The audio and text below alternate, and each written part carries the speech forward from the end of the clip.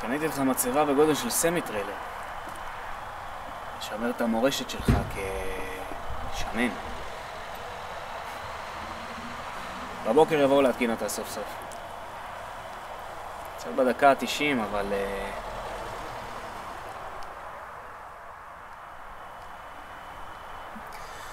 מירב תיקח את הבית. אני רוצה להשכיר אותו ל...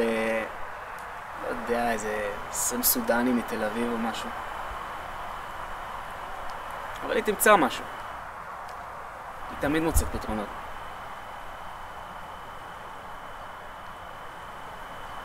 לא כמוך.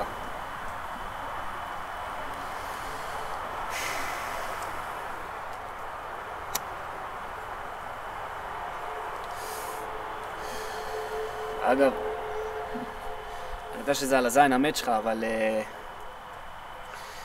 אתה עדיין חייב איזה חצי מיליון שקל לכל מיני אנשים.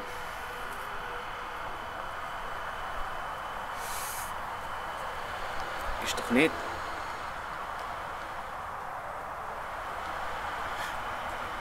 לא, אה?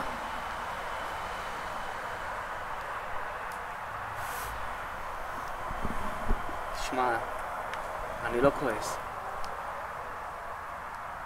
באמת, לא על החובות, לא על החינוך הנהדר שלך.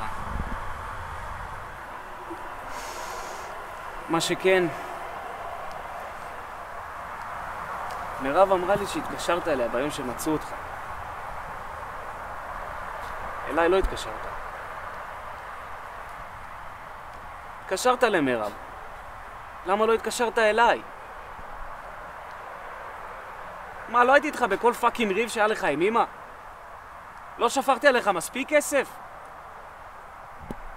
למה לא התקשרת אליי? יש לך בעיה איתי? כן! יש לי בעיה איתך, יא חתיכת ילד תחת! אתה חלש! אתה כל כך חלש! אתה בחיים לא תסתדר לבד! כסף?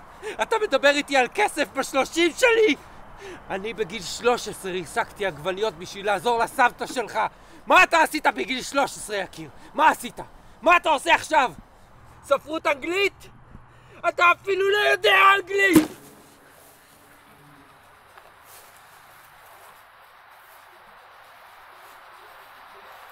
למה לא התקשרת אליי? אני חייב לך משהו? אני צריך לדווח לך על כל דבר! מה, לדפוק לעצמך כדור בראש זה לא סיבה מספיק טובה? וואלה, אם הייתי יודע שתחפור לי ככה, הייתי כבר עושה את הטלפון המזוין. ואיזה מילה על איזה חצי מיליון שקל חובות? די.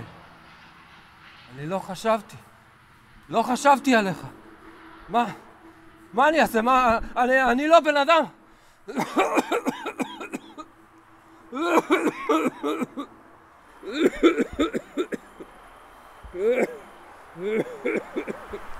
זית. לא אכלתי איזה חודש. הוצאת לי את הגרון, הוצאת. תביא, תביא סיגריה.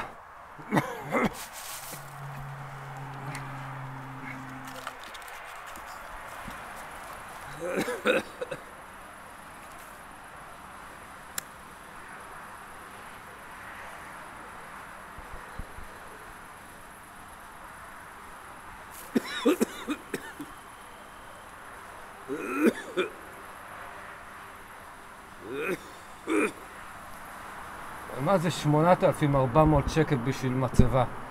עבדו עליך, יחמר.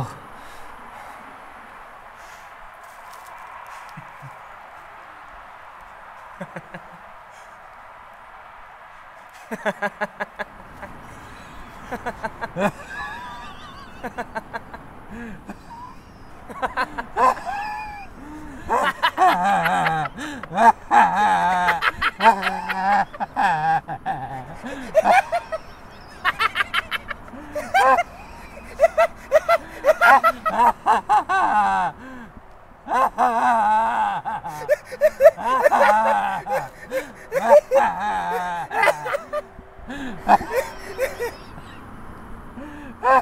ha ha!